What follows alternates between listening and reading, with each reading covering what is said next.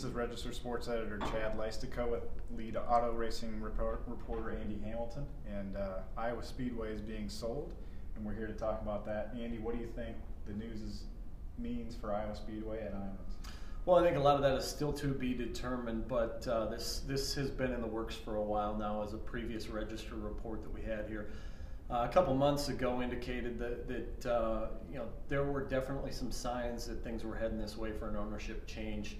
Uh, first of all, you see that uh, you know the track did not have a title sponsorship for the last uh, NASCAR Camping World Truck Series race.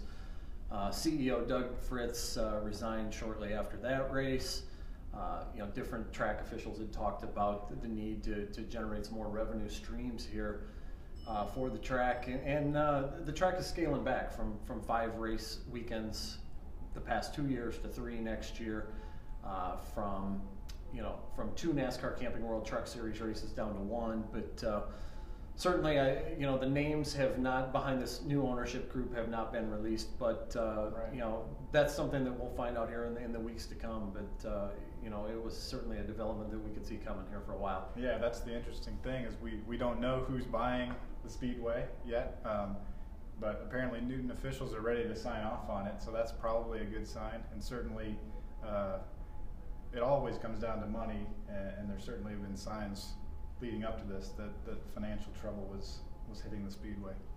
Yeah, and, and, this is a track that NASCAR wants to survive. When you look at the the uh, NASCAR Camping World Truck Series and, and, the Nationwide Series, Iowa is a crown jewel as a standalone yep. for those races. Uh, a big TV contract that NASCAR just got. Uh, you know, they need to fill out those schedules. They need to they, they need to uh, continue to have those dates full, and, and Iowa is certainly one that uh, in the past has delivered big crowds as a standalone race for those two circuits. You can check out more coverage on uh, the sale of Iowa Speedway this week on DesMoinesRegister.com.